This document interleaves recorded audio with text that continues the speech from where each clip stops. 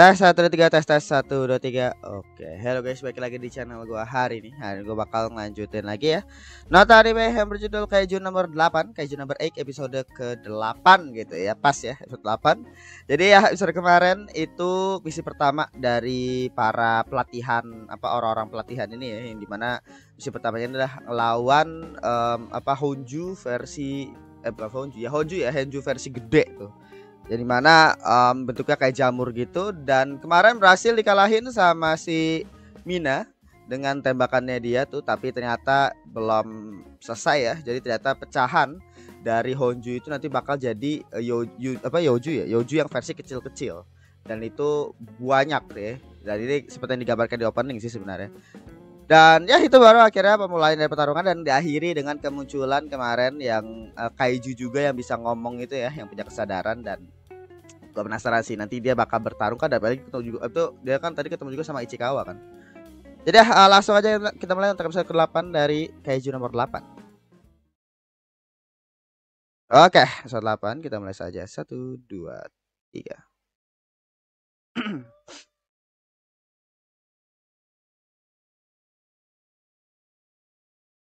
Gila, pakai nontonin dari sini loh.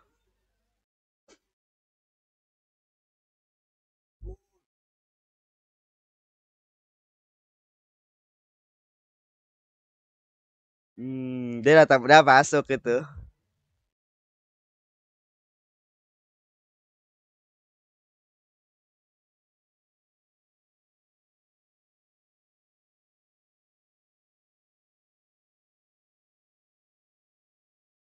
Iyo.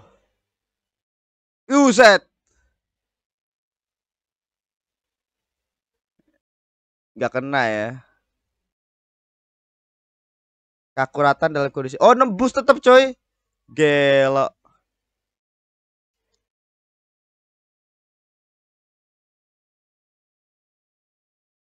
Kaiju. Dan humanoid ya. Tapi bedanya adalah ini tuh literally kaiju ya, bukan bukan kayak si bukan kayak si MC. MC kan masih sadar tuh.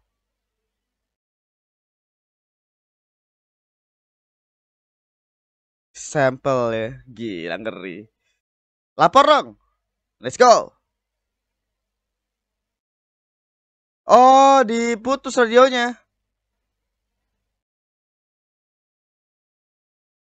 Gila deh, gila ngeri. Gila dia udah udah, udah mempersiapkan loh. Uh, apa? Jamming itu jamming. Uh anjing.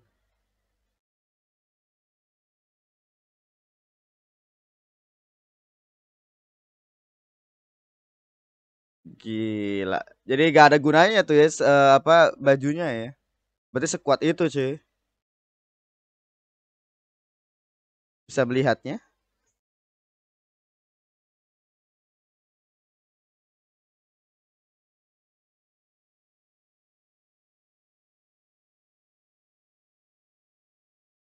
Ada gerakan persiapan. Oh, dia pernah ngeliat itu. Lah, lu nggak ngelapor? Apa udah dilaporin gak sih? Udah kali ya, udah dilaporin kali ya. Maksud lu gak ngelapor terkait dengan kayak humanoid ini? Gue sih akhirnya udah sih ke Kikoru ya.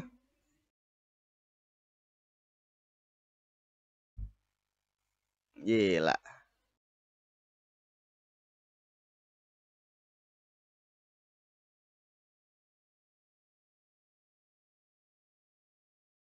Gila.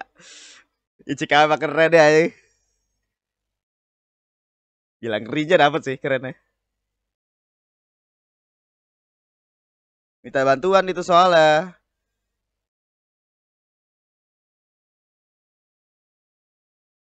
Ya Shinomiya pun juga kalau nggak diselamatin sama Kafka waktu itu udah dead itu.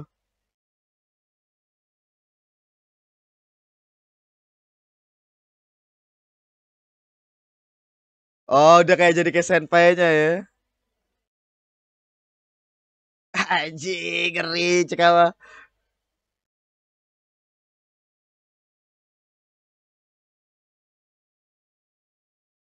Sekarang jadi momen heroiknya dia ya.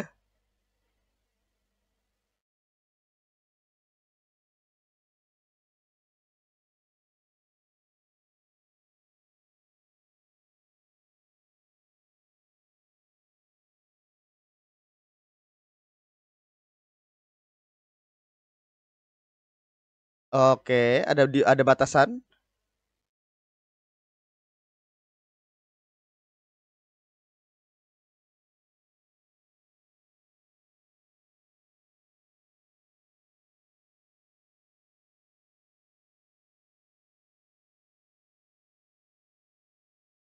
Oh, ini diselamatin sama Mina ya.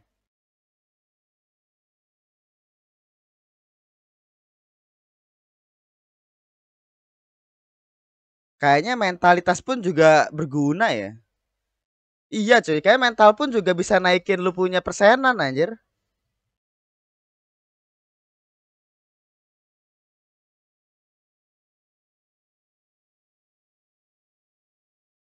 Ya anjing. Oh, itu kayak pukulan keras gitu ya. Oh, diselamatin. Gila. Oh, udah kena. Eh, itu sebelumnya deh.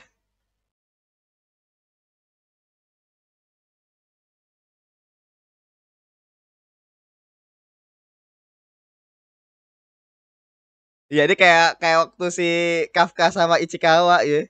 Tapi bedanya sekarang Ichikawa udah apa di posisi Kafka, si Iharu di posisi Ichikawa dulu.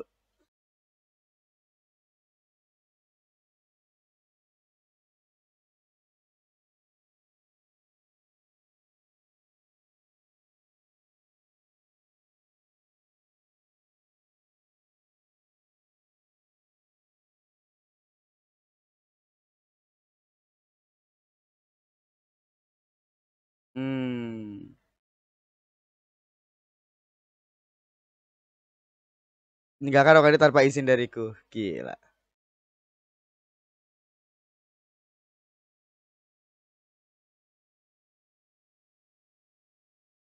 Jadi kayak rival sekaligus partner gitu ya.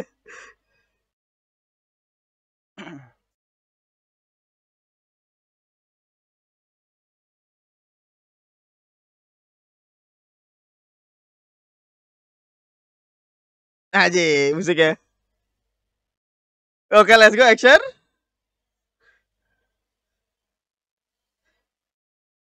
Oke. Oh, kayak di gitu ya.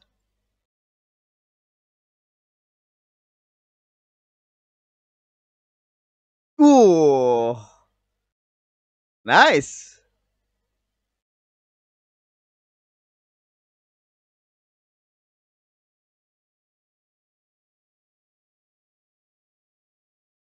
Oh, ya nih kan. Tuh, senjatanya juga ada inian kaijunya juga ternyata. Ya, ini pastinya mirip kayak Mina tadi yang kemarin.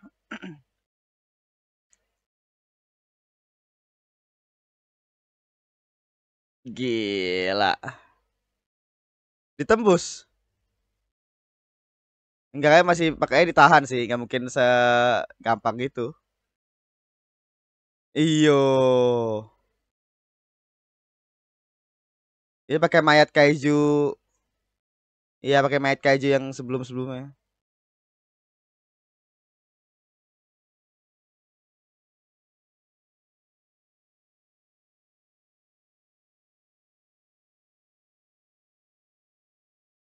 Gila Reno.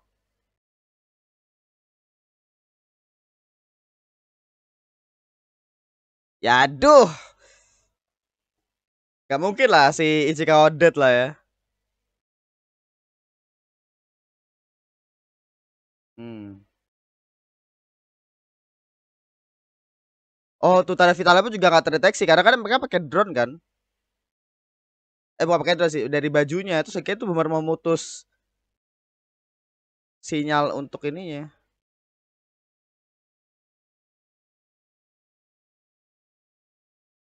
Nah. Sekarang mereka sadar ya. Gak maksudnya kenapa Kikoru gak, gak lapor ya terkait dengan malu ini ngeri loh aja. Lapor gak sih?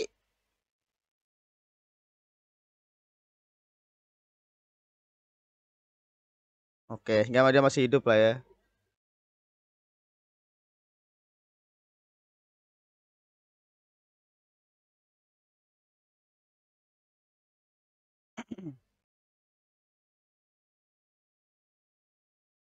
Oh, jadi dia tuh ngi sengaja ngincer beberapa bagian, cuy.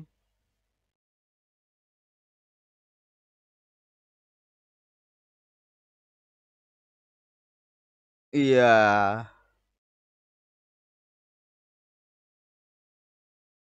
Jadi dia tuh kayak sengaja nih orang apa kayak Juni ini OP loh sebenarnya, tapi dia tuh kayak sengaja Kan itu kan tujuan utama itu kan adalah untuk untuk apa namanya? Untuk ngambil sampel kan. Jadi mereka itu nggak sengaja dibunuh ini.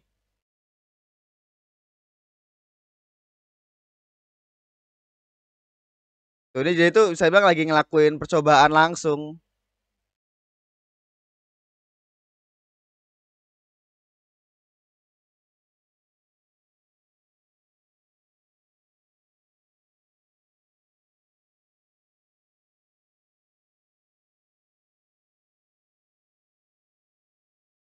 Oh, dia mengakui ya.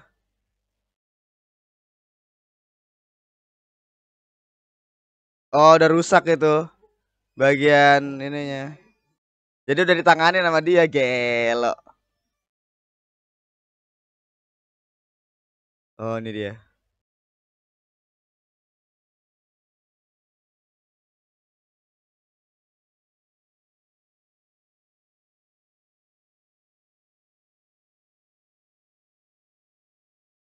Ya Kafka mode Oni, let's go. Iya, ini mereka bakal jadi bestian ini. Fix setelah ini mereka bakal jadi bestian. Lah katanya lu mau ngambil ini, dia mau ngambil Reno berarti. Ah, ya mau jalan belakang gitu ya, ngeri. Let's go.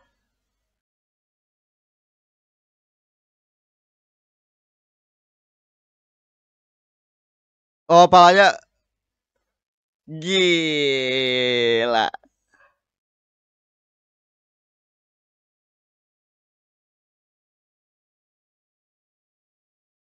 Oke.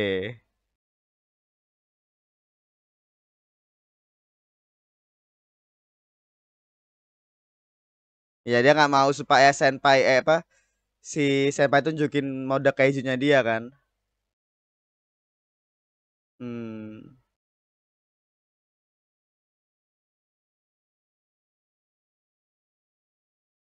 Gila, dia palanya buntu kagak mati.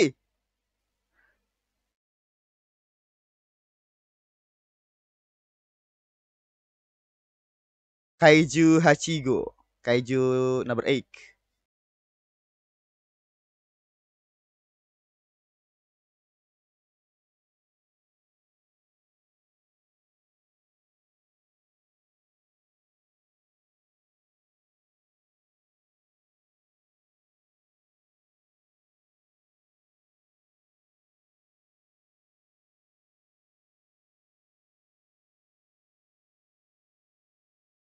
Gila. Kikoru nggak ngikut? Masih OTW kali ya? Oke.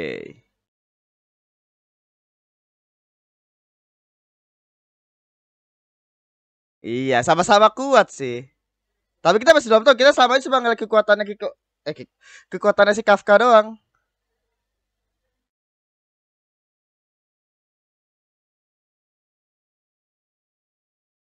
Jasad bidak catur ya. Oh.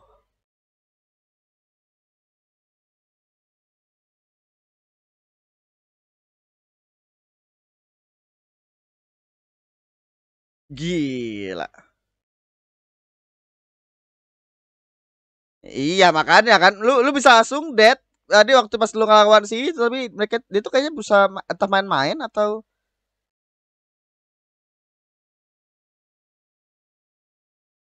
Gila. Aja pakai pose gitu ya.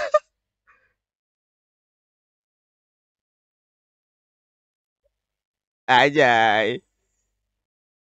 Aja ada musik kisah gini.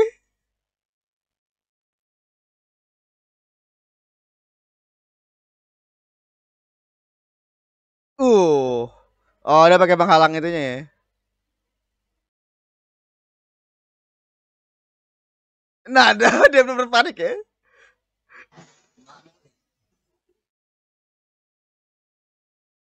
Gelo.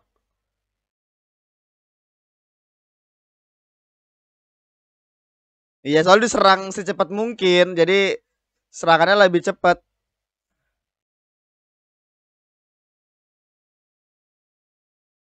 Udah ada Gila. Ya, gawat nih. Anjing.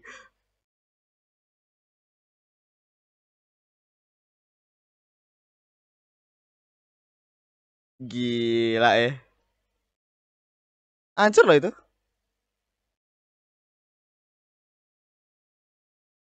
Uset intinya kelihatan gitu.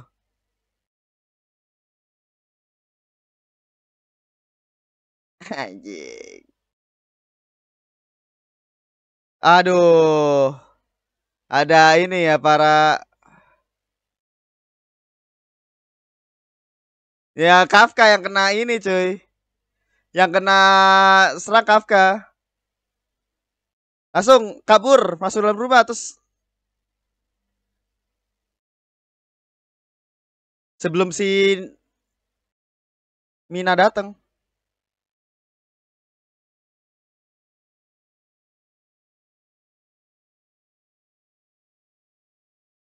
Oh, gue kira udah ngejar belum ya?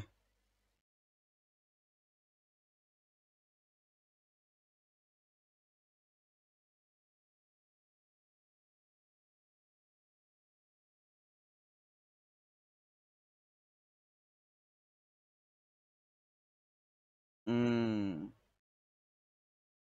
Sama kaiju soalnya. Berarti ada sistem kayak gitu ya, jadi bisa kayak ngerasain kaiju antar kaiju gitu loh.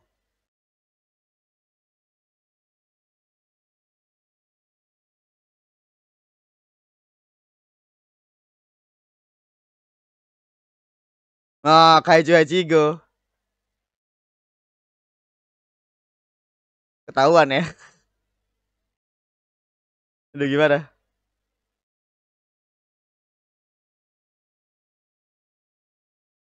Iya udah balik lagi dia.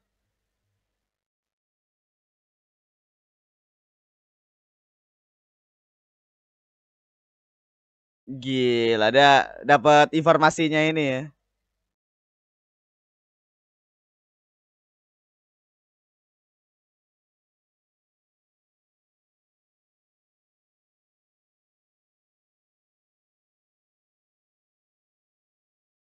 Gila, ada ngilang gitu. Ya.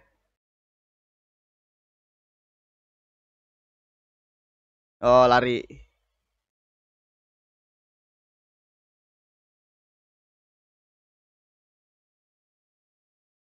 Oke.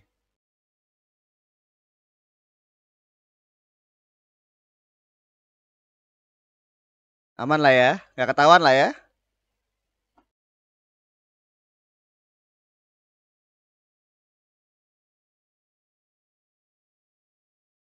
Aduh, ketawa sama kenapa lu gak berubah dulu gitu loh? Gak bisa kah?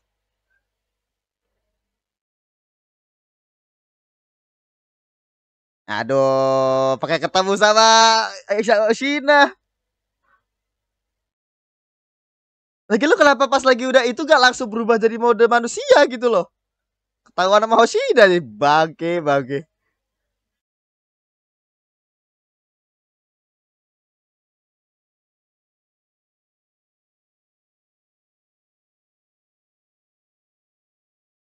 Yuse. Uh.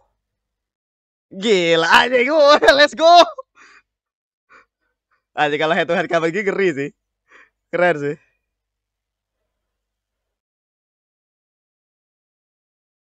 Iya emang kuat dia. Ini apa? Ya dia jadi wakil pun pasti kekuatan GG lah.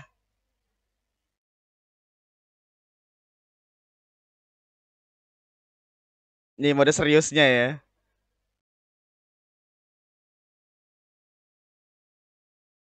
Gila, ya Yoshida, let's go. Oh, ada batasan kan soalnya. Jadi 92%. Nah, ini dia yang kemarin gue tanyain dia, dia berapa persen? Ah, jing. Si Mina 96%, dia 92%. Gelo. Tinggi banget ya. Jadi itu dia tuh melepas batasan tadi. Jadi uh, apa batasan dari kekuatannya kan dibatasin kalau 20 sampai 30 persen kan. Jadi kalau emang lu bisa, lu harus ngelebasin batasannya sampai ke atas dan data mereka ngelakuin itu tuh. Jadi Hos, uh, Hoshina sama Mina itu dua orang yang sama-sama melampaui batasnya mereka. Karena kan batas daripada baju kan 20 sampai 30 persen tadi bilangnya. Gila, gila. Udah sebelumnya ngelawan si Kaiju humanoid, sekarang ngelawan Hoshina Kaicho ya. Eh Kaicho. Wakil. Gila, gila, gila, gila, gila, gila, gila, gila, gila. Ngeri, ngeri.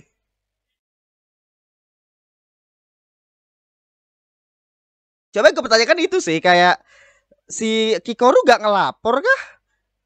Terkait dengan adanya kaiju humanoid gitu. Oh tapi kayaknya mereka udah pada tahu tadi kaiju humanoid ya.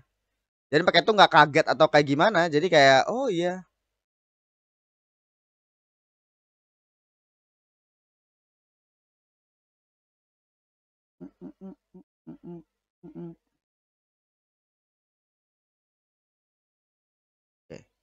Ya tadi untuk episode ke-8 ya dari Kaiju nomor 8. Ya tadi untuk episode ke-8 ya dari Kaiju number 8. Jadi ya um, episode yang bagus sekali. Jadi di sini tuh um, apa tadi actionnya bagus ya. Uh, meskipun tadi apa kayak um, untuk actionnya bagian dari si siapa Kafka sama yang Kaiju humanoidnya itu bukan Sakuga suka banget malah tadi lebih keren yang tuh pas Hoshina tadi tuh ya shotnya pas dia ngiter-ngiter di tembok tadi tuh keren sih. Tapi ya intinya tadi um, apa bagus banget tadi pertarungannya dan tadi ngerinya dari kaiju yang kaiju nomor 9 lah ya kita nyebutnya kalau itu kan di masa depan ya. Tapi kita sebutin nomornya kaiju humanoid aja. Yang di mana kaiju humanoid itu ngerinya dapat tuh tadi terornya pas dia lagi berhadapan sama si apa um, Ichikawa sama Iharu ya itu ngeri banget tuh anjing. Dan itu makanya tadi gue mau pertanyakan kan ini kaiju ini dia tuh apa dia tuh bisa ngebunuh mereka berdua sekaligus cuy. Tapi kenapa mereka kenapa dia itu ya si kaiju ini nggak nggak langsung ngebunuh gitu loh. Pasti kan ada maksudnya kan. Tadi sebutin bahwa dia itu pengen nyari sampel sampel petugasnya kan. Karena kan dia bingung. Jadi kan gara-gara episode episode kemarin ya kalau nggak salah. Yang kapan tuh. Pokoknya dia itu kan kayak bingung gitu. Kok nih para kaijunya bisa bisa aku itu kan bisa gagal tuh rencana yang sebelumnya. Terus sekarang pun juga ternyata kok ada orang yang bisa ngeliat apa bisa tahu tentang kaiju. Jadi ah gue coba deh ny coba nyari tahu terkait dengan sampel petugasnya. Nah kayaknya dia itu lagi berusaha untuk nyari sampel makanya nggak langsung dibunuh tadi. Dan tadi yang mau diambil itu kayaknya si Reno. Iharu tadi kan mau dibunuh tuh tadi sebelum ada sebelum Kafka datang kayaknya um, apa si Reno tadi yang mau diambil tadi. Yang bakal dijadiin sampel tadi kayaknya ya. Dan ya tadi apa namanya ini juga bagian daripada pendalaman juga buat uh, Iharu juga sama uh, Iharu lah lebih tepatnya kayak untuk kepada bagaimana apa um, perasaan dia kepada si Cikawa gitu pada si Reno ya. Di mana kan dia awalnya nganggep bahwa ya Reno ini sebagai kayak rivalnya dia lah. Terus kira dia merasa kayak iri karena dia selama ini cuma setak di level apa di level 20% tapi si Reno ini terus meng, apa melampaui dia gitu. Sampai akhirnya di akhir tadi di mana uh, dia bahkan mengakui ya bahwa Reno itu emang hebat banget. Bahkan di posisi di mana dia itu kan uh, sampai nggak bisa gerakan tadi si Iharu. Tapi dia lihat sebelumnya si Reno tetap bisa ngelawan coy. Jadi emang secara mental pun juga menang Reno gitu bukan cuma kekuatan doang. Maka dia tadi mengaku itu bahwa oh Reno ini bisa jadi ketua nih gitu. Itu juga menarik sih kan? Yang di mana apalagi itu kan juga juga penggambaran tuh bahwa seperti waktu pas Kafka sama Reno sebelumnya yang di episode 1 yang apa uh, apa si Kafka kan dia minta si Ichikawa ya si Reno buat pergi minta bantuan terus akhirnya data dia itu malah ngebantuin si Kafka terus kan berdua coba nyari cara buat uh, apa buat mengalahkan kaijunya itu kan. Nah, di sini juga sama posisinya. Di mana Ichikawa nyuruh si itu buat ini, dia balik untuk nyelamatin si Ichikawa dan ya udah. Jadi kayak kayak mirip seperti sebenarnya kayak kayak saling ya, estafet gitu loh. Jadi keren deh. Tapi dia tadi um, pertarungannya GG um, apa tadi untuk banget Kafka datang di saat yang tepat. Ya mood gue itu apa ya kalau misalkan Kafka telat dikit aja itu udah selesai sih maksud gue karena mereka itu bener-bener gak bisa minta bantuan loh. Si Reno sama Ihar itu benar-benar nggak bisa minta bantuan dan itu yang ngebuat uh, apa untuk banget tadi laporannya itu laporannya itu datang tepat banget. Karena kan dari monitor dari pusat itu mereka nggak bisa ngedeteksi terkait dengan si Ichikawa sama Iharu yang di mana itu langsung dilaporin ini yang mood gua uh, apa bagian daripada mereka tuh benar profesional banget di sini. Jadi kayak dari pusatnya pun ketika ada satu hal yang aneh, kok ini ada dua orang ini kok ngilang gitu. Makanya akhirnya mereka langsung ngelapor ke Hoshina. Jadi mereka dia langsung ngelapor ke Hoshina dan dari situ akhirnya eh, bukan ke Hoshina sorry ke seluruh tim bahwa ada something yang aneh nih sama isi apa Ichikawa sama Iharu baru akhirnya mereka langsung coba nyari tahu. Jadi kayak gitu. Itu yang akhirnya um, menyelamatkan mereka berdua juga gitu. Jadi emang jujur aja ya dari kemarin sih gue ngeliatnya tuh keren aja gitu mereka tuh kerjanya tuh efisien profesional dari yang kemarin gimana cuma dalam waktu sejam doang mereka bisa nyiapin semuanya mulai dari tenda mulai dari strategi dan lain-lainnya siap di tempat cara ngalahinnya cuma dalam waktu sejam loh dan sekarang di sini ketika rekan yang hilang mereka langsung uh, apa cekatan gitu dari monitor. Ini dua orang ini ngilang nih langsung set set set, kayak gitu. Itu keren sih. Cuma nih ya yang jadi pertanyaan gua adalah kenapa tadi Kikoru itu gua nggak tahu nih ya balik lagi. Mungkin kalau yang tahu komentar aja di bawah. Kikoru itu ngelapor nggak sih terkait dengan si kaiju humanoid itu? Uh, gua nggak tahu ya baik lagi. Maksud gua mungkin dia ngelapor cuma akhirnya apa eh, nggak uh, terlalu ditindak lebih jauh karena mereka masih belum tahu siapa kaiju humanoidnya ini gitu maksud gua kalau Kikoru ngom oh iya enggak juga sih Gak gini loh, maksud gua maksud gua adalah um, mungkin dia tuh nggak ngomong terkait dengan kaiju humanoidnya. Ini kemungkinan ya.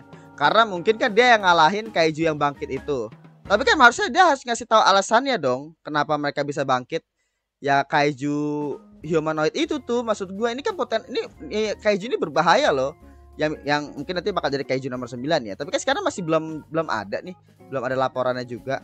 Jadi gue pikir yang tahu itu tadi itu cuma Kafka, si Ichikawa sama um, Kikoru doang. Nah maksud gue Kikoru kok nggak ngelapor ya? Atau emang dia tuh ngelapor, cuma cuma dalam bentuk kaiju humanoid doang. Jadi dia tuh nggak bisa apa namanya nggak bisa mungkin nggak mungkin nggak ngomongin apa lagi atau kayak gimana gitu. Tapi maksudnya dilaporin itu itu karena gini loh, kaijunya itu masuk ke tempat pelatihan itu loh, kaiju humanoid yang bilang aja kan dia pasti tahu dong kaiju nomor 8 nih si Kikoru. Kenapa dia tuh gak apa ini bukan kaiju nomor 8, ini kaiju humanoid yang belum pernah kulihat gini-gini gini. Nah, pasti bakal dijadiin apa dijadikan perhatian khusus gitu maksud gua. Tapi gua nggak tahu ya, soalnya tadi waktu pada saat mereka apa? Pada saat mereka um, ngelihat kaiju nomor 8, mereka langsung bilang oh ini kaiju humanoid. Tapi mereka langsung mendeteksi bahwa oh ini kaiju number 8 gitu waktu pas yang dua orang tadi tuh. Ya di mana kan itu laporan yang nggak diterima apa uh, laporan daripada si Ichikawa kan nggak nyampe mereka. Artinya reaksi pertama mereka pas ngeliat kaiju nomor 8 itu lah kaiju humanoid. Nah, itu yang akhirnya um, apa? Kemungkinan kayak mereka itu entah dapat informasi itu enggak. Gua nggak tahu lah, tapi kalau misalnya lu yang tahu, kalau gue sih nangkapnya Kikoru belum ngelapor. Jadi Kikoru itu nggak ngelapor, ya kalau mood gue sih agak aneh ya karena lu tahu seberbahaya apa kaiju ini tapi lu nggak ngelapor ke Hoshina lu nggak ngelapor ke Mina atau mungkin ngelapor tapi emang belum muncul lagi aja gitu kaijunya jadi ya ya udah gitu istilahnya nah gue sih berharapnya nanti Ichikawa ini nih setidaknya laporin lah terkait dengan adanya kaiju humanoid ini gitu. Supaya mereka pada aware. Atau mungkin ya alasannya itu Kikoru itu kan waktu itu pengen menutupi bahwa dia yang mengalahkan kaijunya waktu itu kan. Yang apa namanya kaiju yang um, bangkit lagi tuh yang dibangkitin sama si kaiju yang humanoidnya itu. Tapi maksud gua ya ngelaporin terkait dengan kaiju nomor 9 pun juga nggak masalah karena kan bilang aja dia itu kabur di tengah pertarungan gini-gini. Ya pokoknya gue ngerti lah gue ngerti. Mungkin kalau yang tahu bisa komentar aja di bawah gitu. Tapi yang jelas itu tadi satu hal yang mengganjal aja sih. Kayak ini beneran ini si Kikoru ngelapor apa enggak sih? Gitu. Kalau dia nggak kalau dia ngelapor setidaknya ya setidaknya ah, kalau ada mereka soalnya gini tadi kan Kikoru sama Kafka Kikoru langsung langsung ngomong ke Kafka kan. Uh, atau Kafka tadi yang ngomongnya bahwa uh, te apa um, ciri-cirinya ini mereka tuh bisa langsung tahu oh ini kaiju nomor kaiju kaiju humanoid ini kaiju nomor 9 tuh nanti itu kan. Ini kayak begini nih di mana nanti dia tuh menggunakan barrier yang menghilangkan komunikasi. Itu kan maksud gua eh, apa dia bisa langsung tahu gitu. Jadi kayak mereka langsung nyari berusaha untuk nyari si Ichikawa sama Iharu kan. Yang artinya kalau kalau mereka berdua aja bisa langsung ngeh kayak begitu yang lainnya pun juga bakal bisa langsung ngeh. Masalah tadi reaksi pertamanya Hoshina itu nggak langsung ngeh berarti itu nggak tahu berarti itu nggak tahu cuy Aduh sayang sekali sih. Kenapa disembunyikan itu loh? Ya jawaban satu sih kalau menurut gue ya karena memang mereka kan bisa untuk nyembunyiin terkait dengan Kafka. Makanya kan uh, apa takutnya kalau misalkan dia ngelaporin terkait dengan kaiju no humanoid takutnya malah mengarah ke Kafka. Itu sih ya salah satu yang gue pikirin ya.